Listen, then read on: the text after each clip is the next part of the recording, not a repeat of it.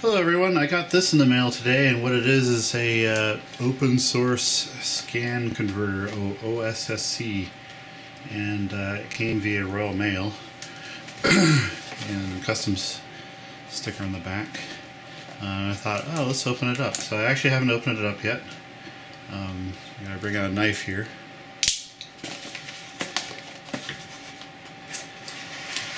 And let's see what's inside.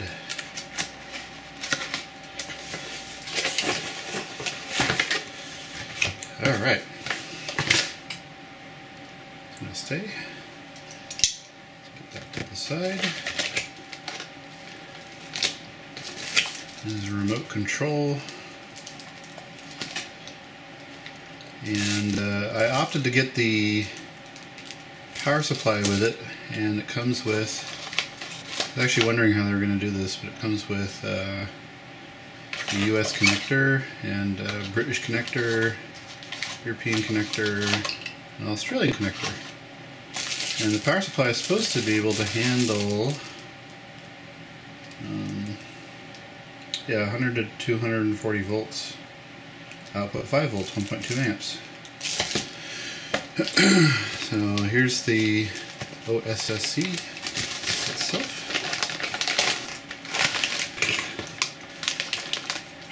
And it's tinier than I thought it would be.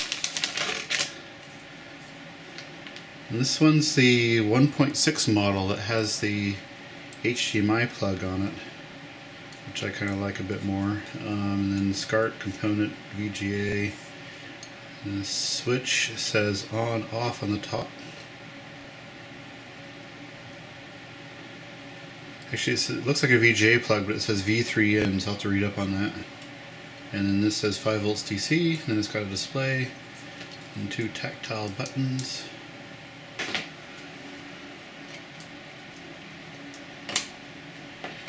Alright, we have an Altera, I'll get this better in the shot here, Altera Cyclone 4. Some other chip, I guess I could look at the, uh, there is a block diagram available for this in a schematic.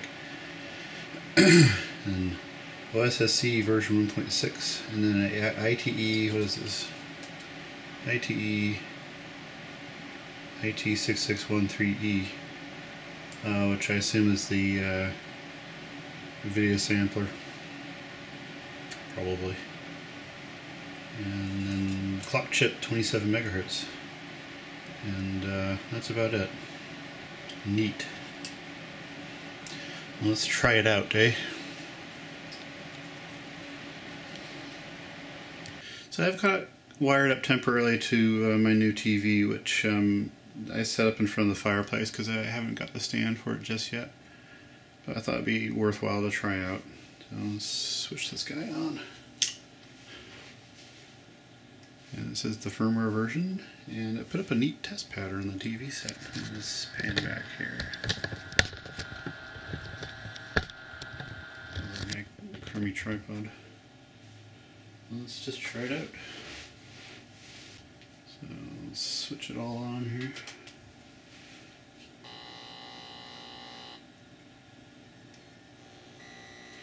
Yeah, that buzzing noise happening. Not sure what the issue is though. No sync.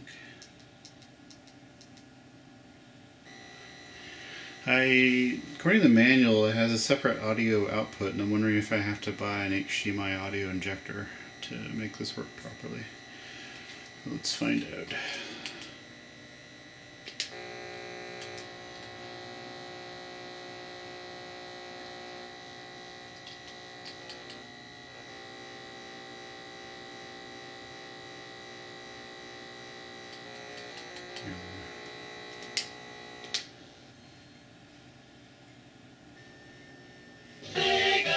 Actually, the audio works just fine. Look at this buzzing noise though.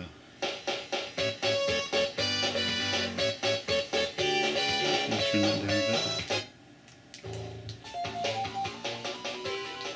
Uh, this is not apparent from the camera, but I gotta tell you, this looks incredibly good. Wow.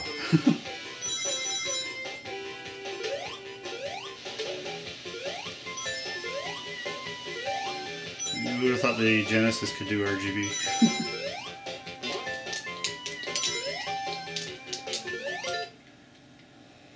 see how much lag there is, I guess.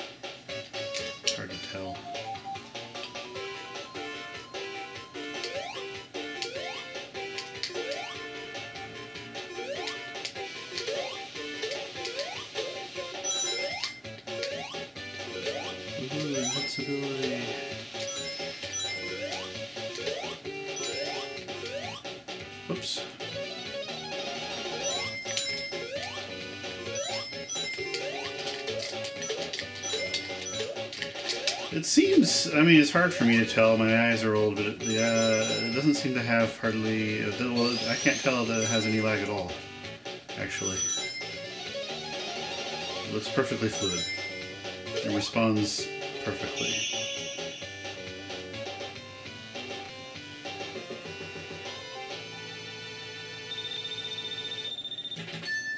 Yeah, the main difference between this and composite is that um, it's very colorful. Yeah, I really can't explain that enough. It looks really quite good.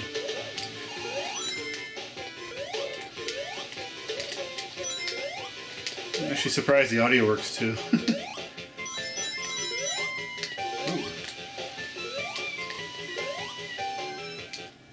Anyhow. Let's try out the Super Nintendo real quick.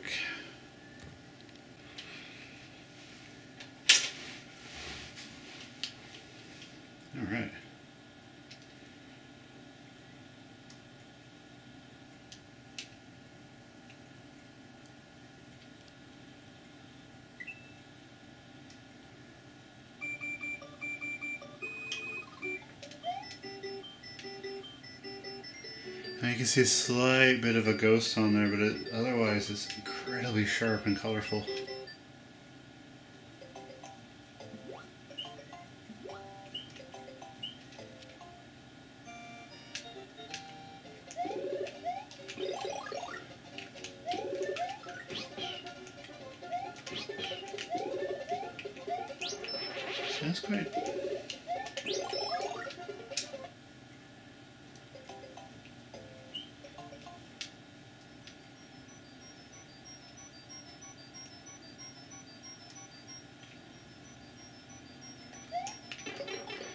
Much of this my, is my cable itself too.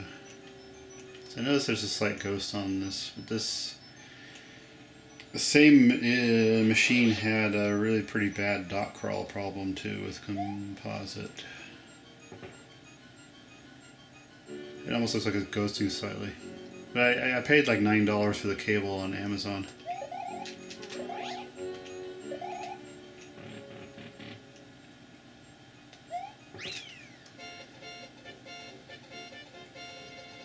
Still looks really good.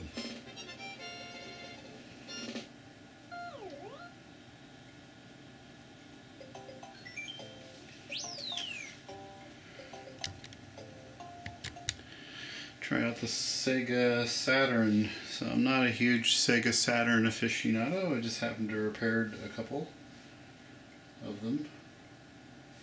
And um, so fair warning, this is slightly modified machine. if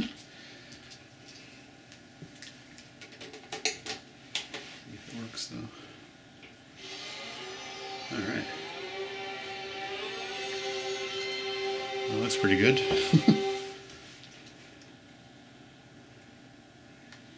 yeah, I can't get over how colorful it is. This machine looks really sharp compared to the Super Nintendo. Razor sharp with no ghosting at all.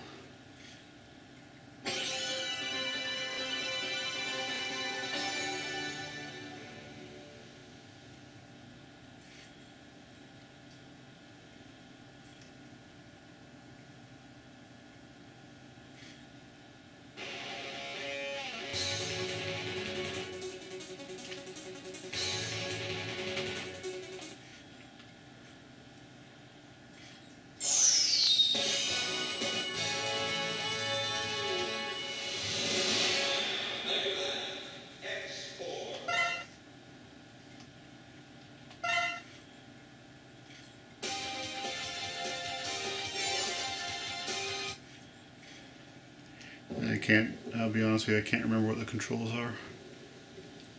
So this may be rather horrific.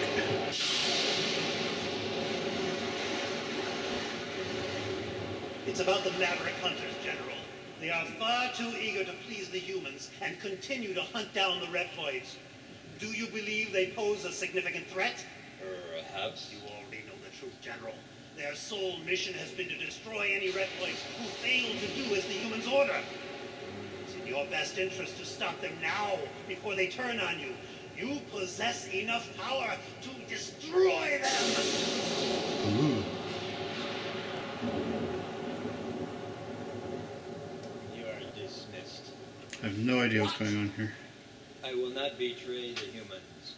Remove yourself from my sight. My business with you has concluded. Very well. You will change your mind soon, I assure you.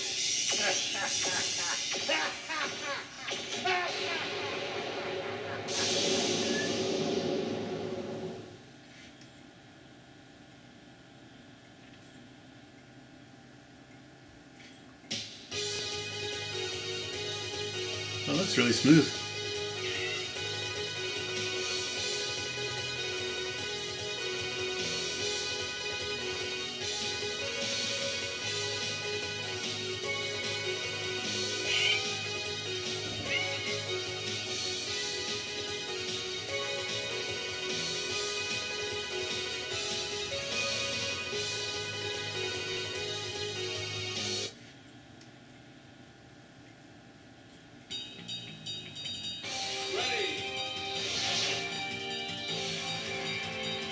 A little washed out. Yeah.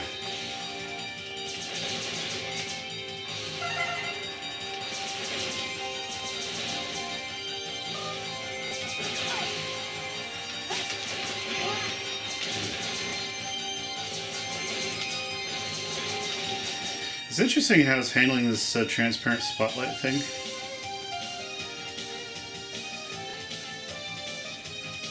Sure if I like that or not. I think on a regular composite uh, upscaler it looked solid yellow.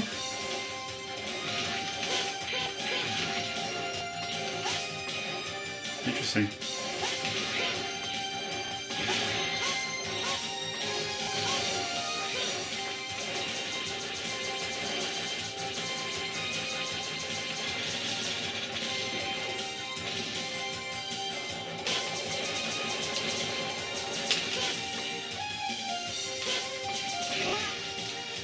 Very fair.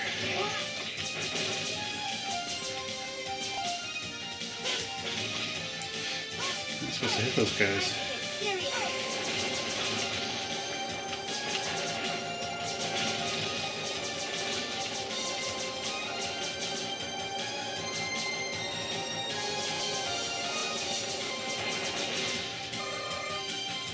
That's helpful.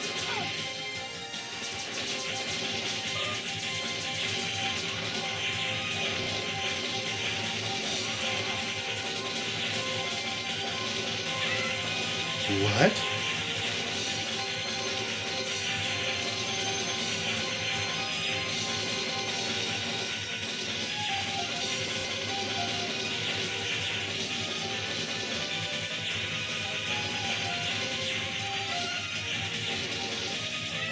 Maybe we can't. No.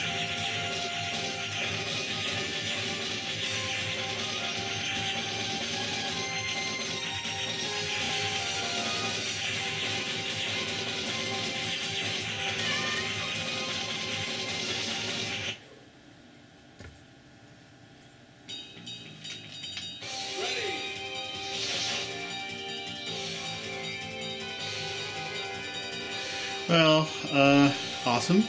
Looks really good on the Saturn as well.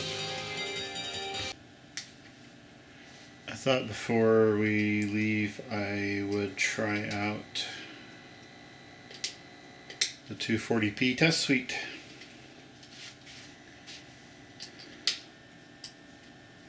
Oh, that's interesting.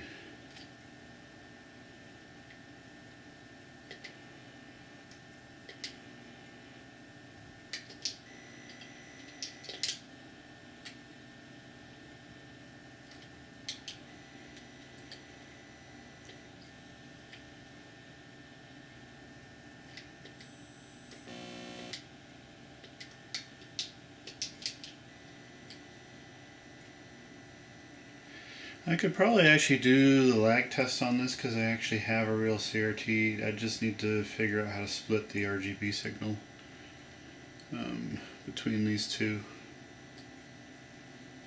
Um,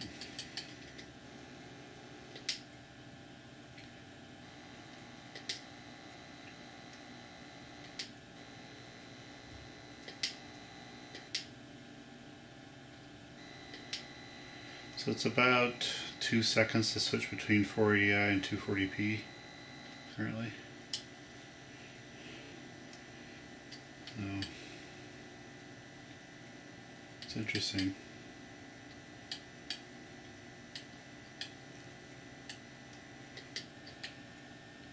The drop shadow test is kind of interesting. What this does on the built-in scaler is it just draws a uh, outline of this I think it's supposed to actually alternate every other frame so that you get the illusion of a transparency. In fact, on the uh, on the video camera, you actually do see it.